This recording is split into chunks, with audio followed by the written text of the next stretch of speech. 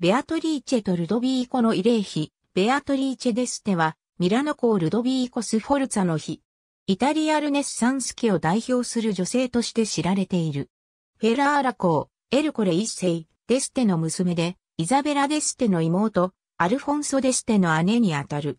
15歳でバーリ公ルドビーコ・スフォルツァと婚約し、1491年1月に結婚した。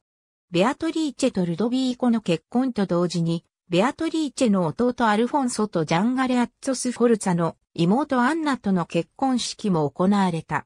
彼女はきちんとした教育を受け、ニッコロ・ダ・ゴレジョ、ベルナルド・カスティリョーネ、ドナト・ブラマンテ、レオナルド・ダ・ヴィンチ、ジョバンニ・アントニオ・アマデーオといった学者、詩人、芸術家らを要するきらびやかな宮廷の中にいた。ダヴィンチは結婚の祝いとして彼女の肖像画を送っている。1492年には夫のため大使としてベネツィアへ赴いた。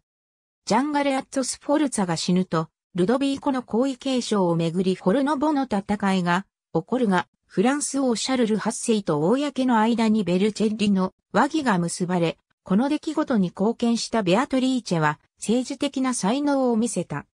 1497年1月、第三子となる三男を死産した後、死去した。ありがとうございます。